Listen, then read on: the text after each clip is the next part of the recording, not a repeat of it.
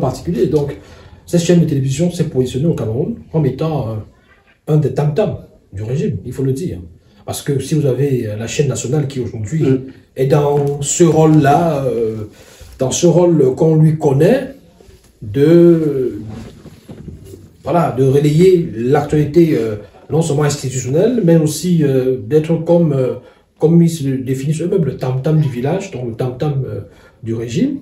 Vous avez aussi Vision 4 qui euh, joue ce rôle-là quelque part et qui peine très souvent à critiquer le régime, à, à prendre des positions contre le régime. Donc, quand vous avez ce contexte-là qu'on comprend déjà, et vous avez un journaliste dans de cette chaîne qui prend une position qui prête à confusion, qui remet en cause le positionnement même, et dans la ligne éditoriale de la chaîne où il travaille, à ce niveau, la chaîne se sent obligée de rappeler non seulement au public, mais aussi de rappeler au régime en place son soutien, son, son- le respect de cette euh, ligne éditoriale-là qui n'a pas été violée, qui n'a pas, je veux dire, qui, Ou son hostilité qui- contre qui- Bruno qui- n'a pas changé en fait. Mm. Donc ils sont, ils se sentent obligés de rappeler au régime, nous n'avons pas changé de, de-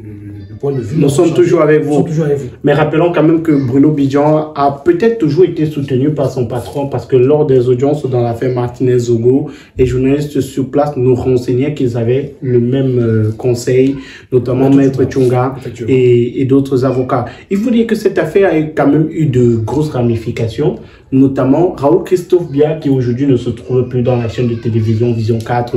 On se souvient que pendant la Coupe d'Afrique des Nations, alors que le journaliste était encore en Côte d'Ivoire, il y avait déjà des rumeurs sur son licenciement par rapport euh, à son soutien à Bruno Bidjan. Lui qui avait dit lors d'une sortie qu'il n'a jamais soutenu Bruno Bidjan, qui n'a jamais fait de sortie pour soutenir Bruno Bidjan et qu'il a préféré fuir les choses avant que les choses ne le fuient parce qu'il connaît le fonctionnement de sa maison. Dommage collatéral. Oui, l'ami de mon ami, l'ami de mon ennemi semble être mon ennemi, etc. etc. Euh, voilà. Vous savez, dans, quand on travaille avec des gens, dans une corporation, on finit par devenir, par avoir des affinités, des amis, tout ça. On finit par avoir des liens et c'est difficile de même, malgré des interdictions, malgré des, des restrictions, de ne pas euh, afficher, affirmer euh, ses affinités, ses liens avec euh, X ou avec Y. euh, euh, Peut-être que de ce côté, il y avait une consigne, justement, de ne pas soutenir et euh, il a fait. Christophe dit qu'il l'a pas fait. Bon, bon. Lui, dans sa sortie, il a dit qu'on qu'on lui montre où il a fait une sortie pour soutenir Bruno, qui ne l'a jamais fait. Bon, oui. qu'il a appris euh, qu'on allait le licencier sur les réseaux sociaux. Une fois, dans son média, il a essayé de se renseigner et les réponses qu'il avait, lui connaissant son média, il a compris que ça n'allait pas tarder.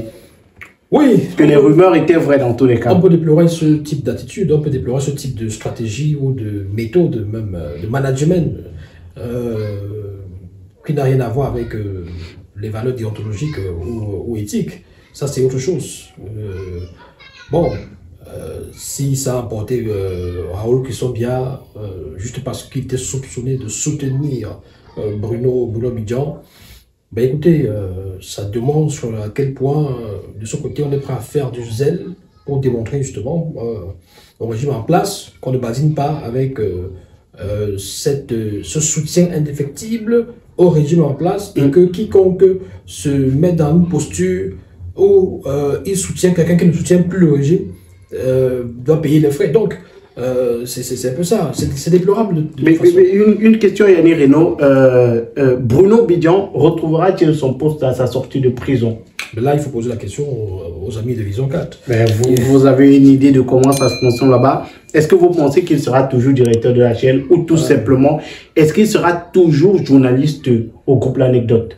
Vous savez, tout dépendra cette fois-là des rapports, des rapports qui demeurent entre Bruno Bidjan et le grand boss. Mm. Et nous savons très bien qu'il était très proche, qu'ils sont toujours très proches. Vous savez, être dans des situations presque semblables, comme euh, M. Amour Belinga et Bidjan, euh, incarcérés, ça rapprocher. ça peut rapprocher davantage. ça peut vous rapprocher davantage, encore plus que par le passé. Euh, si pendant tout ce temps, le soutien a toujours été euh, affiché, il n'y a pas de raison à ce que peut-être euh, certaines choses changent. Donc je pense que, sauf si on me fait savoir que, entre-temps, Bodo Bidjan et Amo Blinga, ça s'est mal passé, mais hormis ça, franchement, je pense qu'il devrait retrouver son poste. Et au Cameroun, on n'a pas, mal, malheureusement ou heureusement pour, certains, hein, la culture de l'exemplarité, entre guillemets, ou alors, euh, bon, en tout cas, tout le monde, un jour ou l'autre, finit par être face aux problèmes judiciaires, faire la prison et tout ça, ça ne vous enlève pas votre qualité de journaliste, ça ne vous enlève pas votre qualité de directeur quelque part, euh, mais c'est davantage quand vous êtes vraiment euh, coupable d'un fait qui, un fait infamant, on va dire ça comme ça, que ce n'est plus, vous n'êtes plus un exemple, vous n'êtes plus une référence sur le plan éthique même. Euh, et même déontologique, que euh, vous pouvez être comme un parieur, on peut vouloir se débarrasser de vous, mais à ce que je vois, c'est-à-dire que les faits pour lesquels il a été euh, interpellé et incarcéré ne font pas de lui quelqu'un qu'il faut rejeter. Au contraire, c'est un peu comme désormais un martyr. Mm. parce que vous savez, si vous faites Il a payé des peines du peuple. Si vous faites un tour dans des rues du Cameroun, vous allez voir. On vous dira que Bruno Bidjan, qui, quelques semaines plus tôt, ou quelques mois plus tôt, était considéré hein, comme quelqu'un qui euh, euh, avait nagé dans cette euh, mare très très très très trouble de l'affaire Martinez Zogo, où on l'accuse de cire, le soupçon de cela. avant cela, quelqu'un qui était considéré comme, entre guillemets, un sardinat, qui mm. ne pouvait pas dénoncer des choses du gouvernement, du régime. Or, quand il fait cette sortie, il y a un regain de popularité et un regain de euh, de, de, crédibilité même. D'empathie surtout du public. D'empathie. C'est-à-dire qu'on commence... Il y en a qui ont même dit, je suis Bruno Bidjan. Il y en a qui l'ont dit. Parce qu'ils s'estimaient que, pour une fois, il a joué son rôle, le rôle qu'un journaliste devrait jouer en principe. En période de, de, crise, ou de, de, période de trouble, ou de période où il faut se lever et dire stop parce que beaucoup de révolutions, pas de révolutions, beaucoup de changements dans le monde sont intervenus parce que des journalistes ont dévoilé, mm. ont dévoilé, ont décidé de porter aux yeux du monde des problèmes que subissait le peuple et en exigeant que ça puisse changer. Euh, Bruno Bidjan, de retour à Vision 4, c'est une hypothèse. Euh, il retrouve son poste de directeur général. Est-ce qu'on pourrait s'attendre également à un retour euh, de Raoul Christophe Bia? Euh, Il me fait m'attarder sur autre chose. Parce mm. que Raoul Christophe Bia, pour moi, ça ne m'intéresse pas trop. Mm. Vous voyez? Euh, je ne sais pas quel rapport, parce que Christophe Bia, je pense qu'il est actuellement en service en Côte d'Ivoire. Et il paraît que, d'après ce qu'il a dit, hein, il gagne beaucoup d'argent là-bas plus que, plus que par le passé, puisque c'est qu'il gagnait à Vision 4. Moi, pour moi, je suis un peu inquiet parce que Boudou Vision, euh, il n'est pas encore totalement sorti des problèmes. Mm. Il faut le dire. Il faut dire que Boudou Bidjan est encore dans. Il, fait encore partie des, des inculpés par rapport à l'affaire Martinez-Zogo. Les accusés. Oui, les, accusés, les inculpés, les chefs d'accusation. Quand on, vous, on sont les chefs d'accusation, vous êtes euh, des, inculpés. Donc euh, maintenant, vous n'êtes pas des coupables, forcément. Vous êtes encore présumé innocent. Euh, il en fait encore partie. Je pense qu'ils étaient 17. 17 parmi lesquels euh, Amoro Belinga, Marcel Eko, Eko et tout le reste. Lui, il est accusé de complicité de, torture. Complicité de torture, arrestation et, séquestration. Voilà, justement. Donc, il faut préciser, il faut rappeler aux uns et aux autres, il va comparaître libre. Donc, il ira au tribunal de façon libre. Il, a d'ailleurs fait ces, derniers mois, mais cette fois-ci, il était déjà enfermé. Mhm. Il était au tribunal plusieurs fois. Voilà. Il faut dire que c'est quand même le cinquième renvoi de l'affaire hein, et que ça devrait intervenir. La prochaine audience devrait intervenir le, 29 juillet. Parce qu'au niveau euh, de la cour d'appel, notamment, il y a encore des petits soucis euh, par rapport à si oui ou non les avocats peuvent avoir accès au dossier mm. euh, de, de, Martinez Zogo, tant que ce n'est pas réglé, tant que ce n'est pas encore clarifié, euh, le procès ne peut pas se poursuivre du côté du tribunal militaire. Donc, le, euh, la, la, suite, déjà, au niveau de la cour d'appel, ça devrait se dérouler le 14 juillet. Et ensuite, on devrait avoir donc les audiences qui devraient reprendre au niveau où qui devrait véritablement commencer. Parce que jusqu'à présent, encore dans les petits embrouilles, est-ce qu'on peut avoir accès au dossier ou pas Parce que le procès en lui-même n'a pas encore véritablement commencé. On est encore dans les affaires euh, préliminaires là.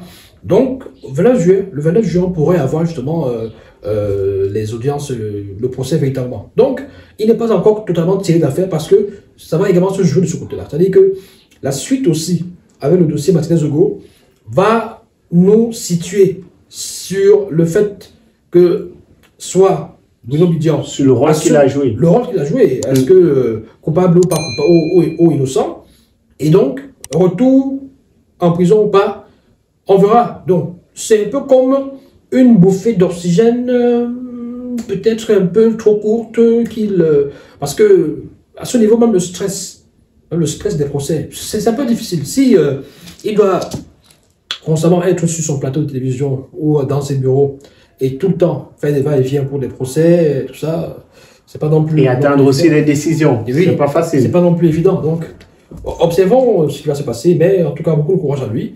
On tenait, moi, je tenais personnellement à lui adresser euh, euh, mes encouragements pour euh, cette sortie qui n'est pas du tout facile. Euh, c'est des sorties comme ça qu'on aurait, on, on aimerait, bon, écoutez, pas forcément des sorties semblables dans le contenu intégral, parce que euh, euh, quand on dit que vous avez euh, été auteur d'une de, de, de- de propagation de fausses nouvelles, Mm. bon, il faut, il faut, il faut aussi essayer de voir ce qu'on appelle fausses nouvelles, mais je pense que dans ce pays, les, des personnalités, des journalistes, des sportifs, des artistes et tout ça, des people, devraient prendre ce rôle-là à bras le corps. Se dire, à un moment donné, pour le bien du peuple, pour le changement et pour l'évolution, non seulement on peut demander au peuple de se de les listes électorales, c'est c'est important, pour peut-être constituer une masse critique pour que demain on puisse aller euh, apporter du changement à la tête du pays, mais il faut aussi dire que ces personnes peuvent se lever et dénoncer ce qui ne marche pas. Parce que c'est quand même incroyable que dans un pays où il y a tellement de choses à dire, à dénoncer, qu'on en soit seulement en train de parler de football et des choses qui n'apportent rien dans ce pays. C'est-à-dire que les choses, et c'est comme si tout est arrangé, tout est fait pour que le Camerounais, dans son entièreté, dans son ensemble, soit seulement dans l'adoration. Dans l'adoration de certaines personnes, des footballeurs, des vedettes, et On ne se concentre pas sur des véritables euh, préoccupations qui, euh, vous avez vu, ces derniers jours, il y a des reportages qui fusent de partout sur euh, des chaînes de télévision, des routes, en plein centre-ville de Yaoundé. La sortie, je ne sais pas si c'est la sortie Est ou c'est quoi de, de Yaoundé, où ça ne vaut, ça ne vaut pas la peine. Je vous parle, c'est la capitale d'un pays. C'est la capitale d'un pays. Vous voyez les routes. Vous voyez des routes. Voilà des vraies préoccupations. Il y a des choses comme ça. Il y a le prix de la vie, il y a la vie chère. Hum. Il y a des problèmes d'eau, des problèmes d'électricité. Il y a tellement de choses que vraiment, si des vedettes, comme des footballeurs légendaires que nous avons ici, Mhm. qui peuvent, comme ailleurs, prendre le bâton de commandement et dire c'est trop. Mon peuple souffre, c'est ce peuple qui me supporte depuis des siècles. Depuis que je suis dans tel club, tel club, depuis que je joue, ce sont eux qui me soutiennent. Mais je ne fais rien pour eux, pourquoi Mm. Il faut que je fasse quelque chose pour eux. Bruno Bidjan l'a fait, ça lui a valu ce que ça lui a valu. On a parlé de fausses nouvelles. C'est aussi peut-être ça que certaines personnes euh, redoutent. Mais c'est quand même terrible. Quand on considère que vous êtes des personnes, des, des- gens, euh, des, des- héros, démontrez que vous êtes des héros. Merci Annie Renaud. Vous en. Rappelons que Bruno Bidian pourrait être libéré en août prochain. Il va retrouver sa liberté. On aura euh, les détails sur. Il a- il a déjà fait euh, cinq mois, donc, oui, euh, il a il déjà reste fait un cinq mois, mois, euh, donc il reste un mois. Euh, il y a une expression juridique pour appeler cela lorsque vous, vous faites un certain nombre de temps en prison pour une affaire qui vous concerne et après jugement, on va soustraire le temps que vous avez déjà mis en prison. Donc c'est ce qui va se passer pour euh, Bruno Bidian. Merci à tous d'avoir regardé la vidéo. Merci Yannick Reno. On se donne rendez-vous très prochainement. N'hésitez surtout pas à donner vos propres avis en commentaire, liker la vidéo, partager avec vos proches. À très bientôt.